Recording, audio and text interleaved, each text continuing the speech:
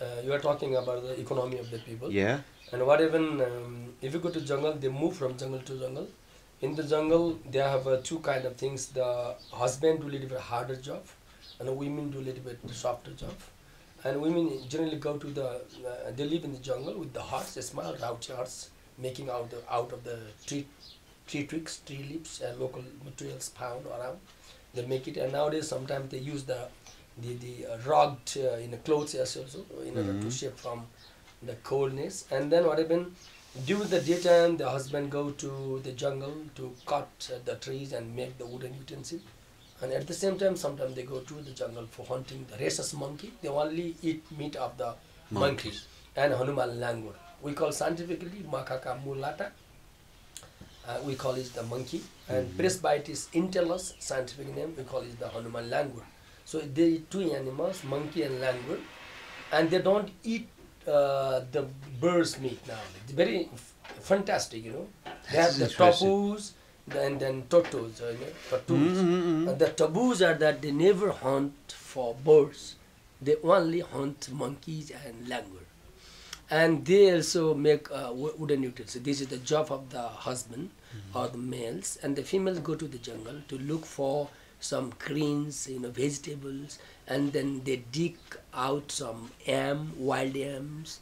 And then along uh, with this women mother, the children, kids go there. They learn everything by oral. We call it the, you know, the indigenous knowledge is being transferred through the practices, you know, Mhm. and they learn. And this is the way of life. And and then uh, while making the wooden utensil, they go to the village. Sometimes the woman, husband, male, husband and wife, they both go to the to the nearby villages with these wooden utensil and then go for exchange with the grains. They get the grains, rice, or some wheat or something else, and then also some especially interesting thing is that they like the radish leaves, you know, radish leaves. Yeah, yeah, yeah, yeah, Because yeah. they want to mix the radish leaf with the flesh of the monkey, so that Mm-hmm. the radish leaf will kill the bad scent of the flesh of monkey. It's interesting, and they cook it, and then they make their own liquor. You know, this raksi, Yeah, yeah, the yeah, Raute yeah, yeah, liquor, yeah, yeah, yeah. and they drink uh, the liquor and then eat the uh, monkey flesh, and they begin to dance in a circle with a Raute dance.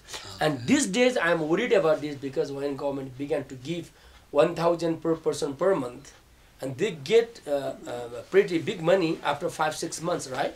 What happened? And they buy the local uh, this very strong spirit, this uh, wine. They drink it, and that has a bad impact on their body Yeah, system. course, this is the course, health. course. So I'm worried about that because before they used to drink their uh, Raute made uh, al- alcohol that was not detrimental to the health. But nowadays they are buying from the local.